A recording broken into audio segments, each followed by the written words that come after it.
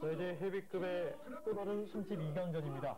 박윤석 선수와 허인 선수의 대결이 되겠는데요. 네, 곽윤서 선수, 뭐이 선수 사실 G5에서 두말할 필요가 없는 선수 아니겠습니까? 예. 가성 미들킥. 자, 가드를 잘해주고 있고요.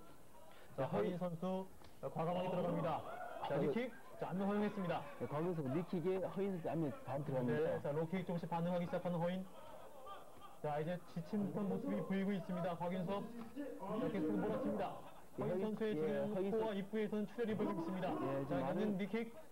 안면 허용 너무 많이 했는데요. 네. 아, 맞습니다. 지금 심판이 더 이상 경기 속행 불가능하다고 판단한 거죠.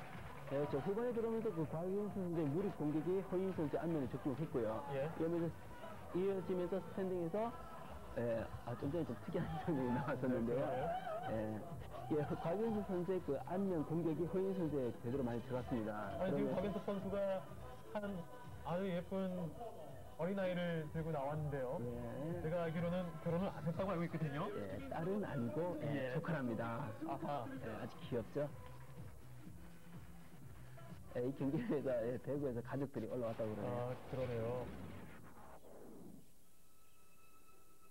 자, 박윤석 네. 선수의 표정을 보면 알 수 있겠지만은, 어, 물론 허인 선수가 좀 저돌적으로 들어왔습니다만은 굉장히 침착하게 풀어냈고요. 그렇죠. 좀 전에 그 무릎 공격이 이어오면서 예, 곽윤수 선수가 허인 선수에게 그렇죠. 네, 로킥 들어갔고. 이제 주목을 많이 허용했습니다. 예. 자, 이제, 이제부터 지금 역력히 지친 듯한 모습이 보였고요. 그러면서 예. 이제 어, 시선을 정확히 맞추지 못하고 있는 허인 선수의 모습이 보였습니다. 예, 그런 가운데 곽윤수 선수의 그 주먹이 허인 선수 안면에 많이 허용을 했고요. 네. 무릎. 자, 무릎 공격. 지금 높이 올라가요. 네, 허인 선수 이 정도면 쓰러질 법도 한데 쓰러지지 않고요. 그래도 버틴 것도 사실 대단하고요. 예, 그래서 레프리가 선수 보호 차원에서 네, 경기를 중단시켰습니다. 네. 자, 니킥 안면 적중.